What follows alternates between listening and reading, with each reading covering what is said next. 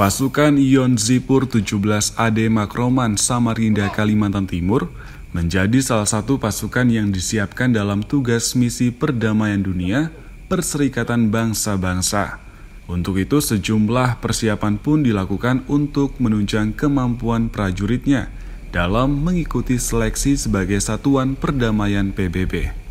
Hal tersebut diungkapkan Panglima Kodam 6 Mulawarman, Maijen TNI Heri Wiranto, saat mengunjungi markas Ion Zifur 17 AD Selasa sore.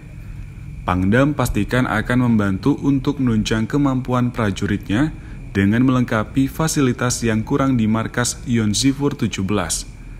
Selain itu, pelatihan pra penugasan juga akan dilakukan demi memaksimalkan persiapan prajurit.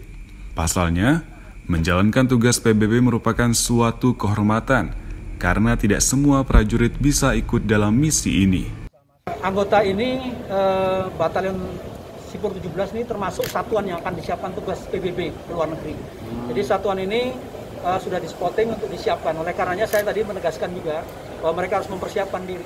Karena untuk bisa berangkat tugas kalau di dalam perencanaan Mabes TNI akan diberangkatkan tahun depan tahun 2021. Masih cukup waktu untuk mempersiapkan itu. Oleh karenanya saya memerintahkan kepada mereka agar mempersiapkan diri dengan baik.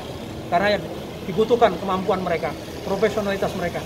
Tugas di bawah satuan PBB berbeda dengan tugas-tugas kita di dalam negeri. Di sana dia akan dihadapkan pada tugas-tugas perdamaian. Ardi Wirya, Adesa Putra, Kompas TV Samarinda, Kalimantan Timur.